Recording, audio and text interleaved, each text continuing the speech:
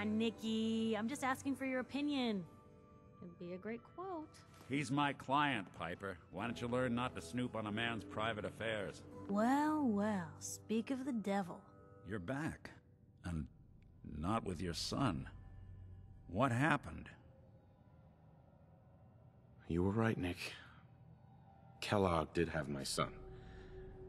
But that wasn't all. He was working with the Institute. He gave them Sean. The Institute? Oh, boy. I'm sorry, friend. Truly. That makes things considerably more complicated. He ain't kidding. Heck, Nick's a synth, and even he doesn't know how to get in. No synth does. Security protocols strip those memories out. I need to find a way. I've been investigating these creeps for over a year now. the Commonwealth's boogeyman. Feared and hated by everyone. True enough. Sometimes they snatch people in the middle of the night, and sometimes they leave old synths behind to remind us that they're out there, but to this day, there's one thing nobody really knows. Where the Institute actually is. Or how to get in. Exactly. But there's one person who has to know, right? The guy who just handed them Sean. Kellogg. Huh. Man like that would have had access. In and out. Yeah, but I'm guessing he wasn't the surrender and talk type, was he? He's dead, Nick. So, a murderer and a kidnapper gets his brains blown out by an avenging parent. Huh. Be a great ending if we didn't still have the biggest mystery in the Commonwealth to solve. He wasn't gonna talk. Even if I had a way of bringing him alive. Gets his brains blown out. Huh. His brains. You know, we may not need the man at all. You're talking crazy here, Nick. Got a fault in the old subroutines? Look, there's a place in Goodneighbor called the Memory Den.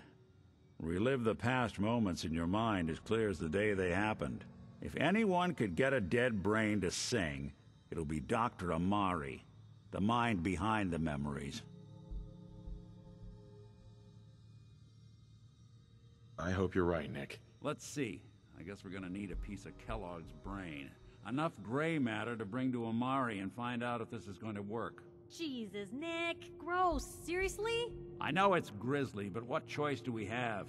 We got no leads, nothing. That old Merc's brain just might have all the secrets we need to know.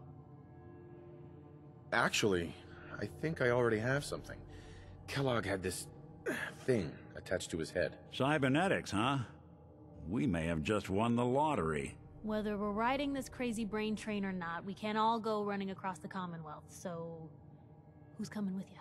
I have to go to the memory den either way, if I'm going to introduce you to Amari. But if you want to head there together, just say so. I already have someone with me. I'll meet you there, Nick. All right. See you at the den. Don't worry. We're gonna get your boy back. Just a few more steps. Uh, well, you two are out. I'm gonna do some more research. I'll be at the public if you need me. And by the way, at some point, you owe me an interview. I want to hear how this whole story got started.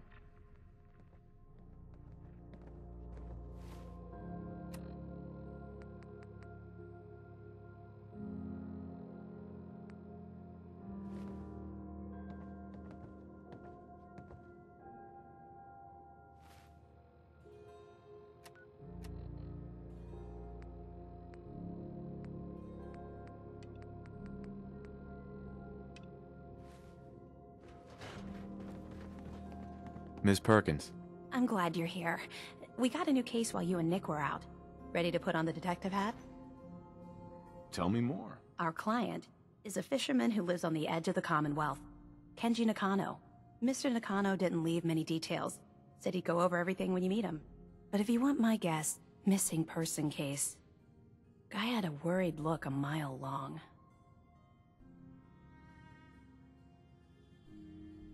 I'll go check it out.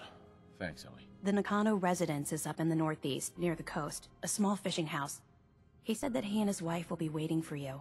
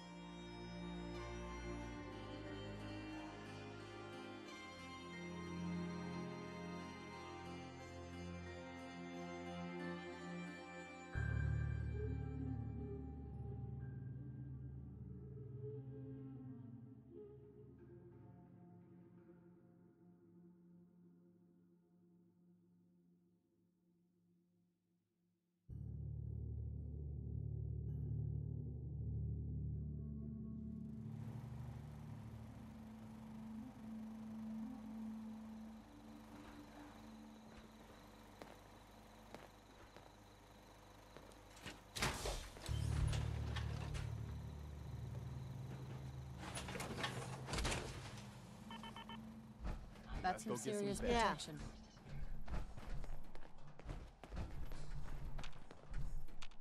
Hey, Lead on.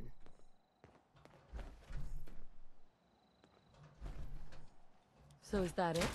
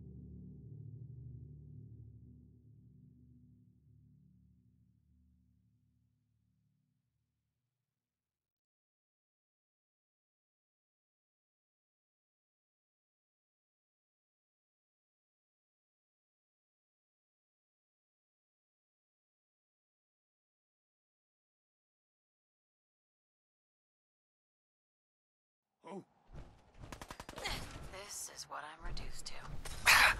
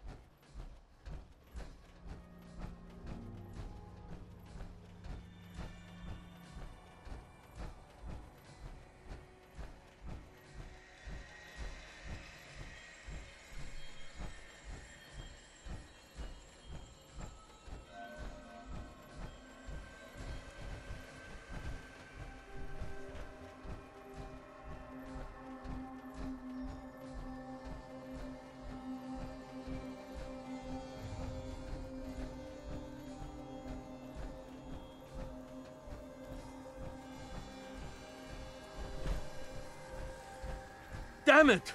Come in! I know you're listening on the other end. Where is she? Where is my daughter? Kenji, please. You've been at this for hours. What? Who are you? I'm sorry, but we don't have time for visitors or caravans or wherever you're from. I'm with Valentine's Detective Agency. You asked for help? Oh, thank God. You have to get working right away. I'm here to help. Tell me what happened. It's all thanks to this damn radio. Our daughter Kasumi likes to fix things. The radio was her latest project. Until she made contact with some kidnapper who lured her away from us. Or maybe she left on her own.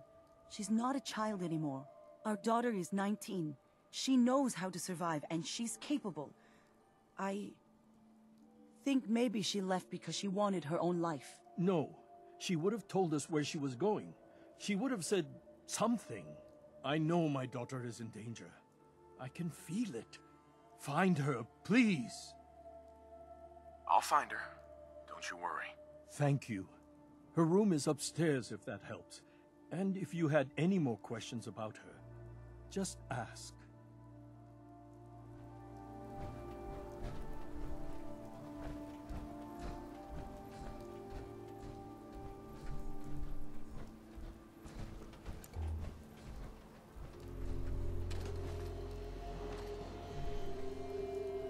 Project log, dreams. Recording what I can remember when I wake up. I keep having the same one. I'm in a white room. Project log, radio. Correction, working radio. I'll finally get some news outside this house. My handle is going to be. Let's go with. Ohm's Law. That should confuse the creeps. And if someone actually gets the reference, then we'll at least have circuitry. Project log, lamp. Yep, it's a lamp. Filament plus power equals light. I swear, sometimes I think my parents break these things just to keep me busy. Mrs. Nakano, I suppose you have questions about my daughter. I'd like to know more about Kasumi. Might shine a light on where she's gone. My daughter is strong, focused, careful. That's how I know she's still alive. But why would she leave without telling us? Maybe we... No, never mind. I don't want to waste your time. Every detail is important, Mrs. Nakano. Don't hold back. No, it's nothing. I don't want to distract you, Detective.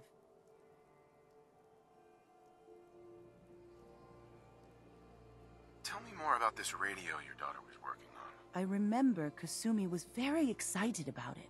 I figured she was secretly trying to make contact with Diamond City or another settlement. We're pretty isolated out here. She only has us for company, and Kenji can be... overprotective.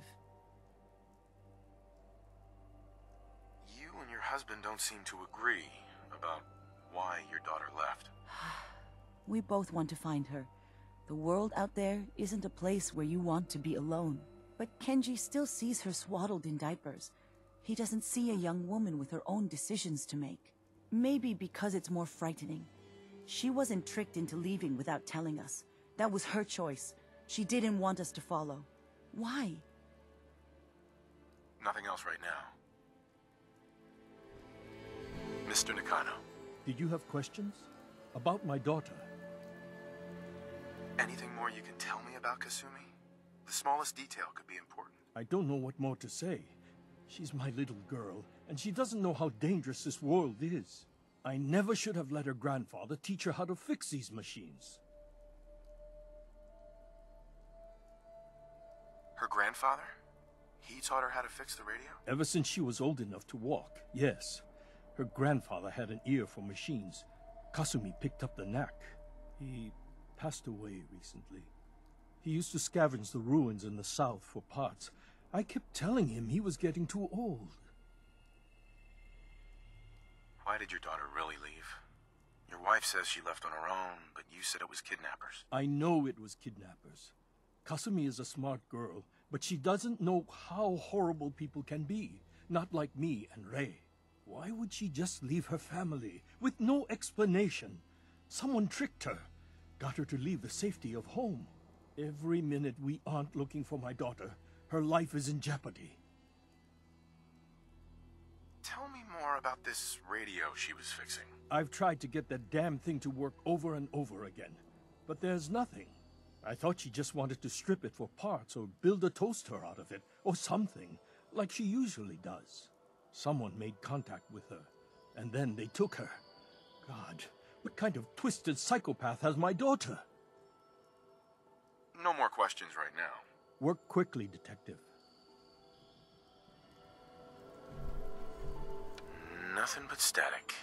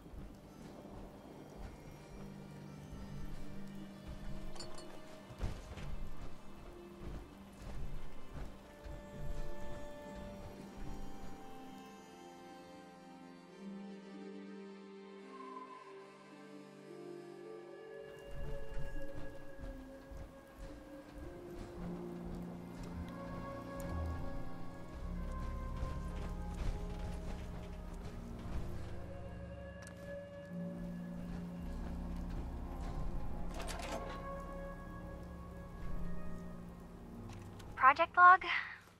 Um, myself. I never really thought about who or what I am, but. God. Where do I start? The radio. I was right about the range.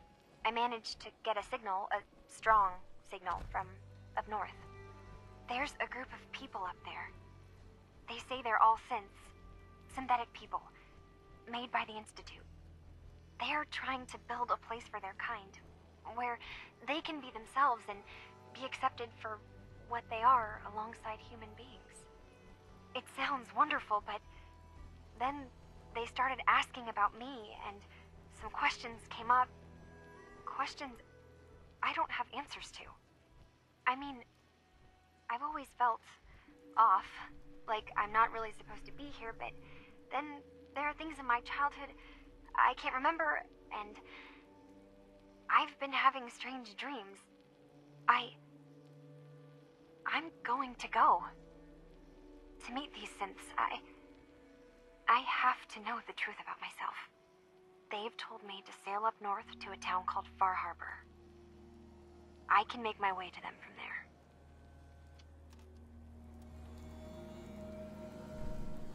Have you finished your investigation? Did you find anything? I think I know where Kasumi went.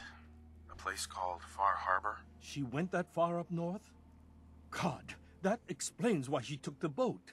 There's no time to waste. You have to go after her. Wait, did you find out why she left, Detective? Who she was speaking to? What does it matter? Because I know my daughter, and if she didn't tell us where she went, then she had a reason. Don't you want to know if she wants to be found? You're right, Detective. Did you find any clue to why Kasumi left home? Your daughter made contact with a group of synths. She thinks she's one of them. What? That's... that's crazy. She's not a synth. She's our daughter. We raised her. I... I gave birth to her. She's flesh and blood, not a synthetic. Maybe your daughter is just confused. Having an identity crisis. Oh God. Does she even think we're still her parents? This is what I was afraid of. Someone twisting my daughter's mind. You have to get to Far Harbor. Take my ship on the dock. It has a guidance system, a final gift from my father, and it's built for distance. I'll get to the bottom of this, Kenji. Thank you. I know you haven't asked for a payment, and we can't offer much. But here, please take it. I insist. For expenses, if nothing else.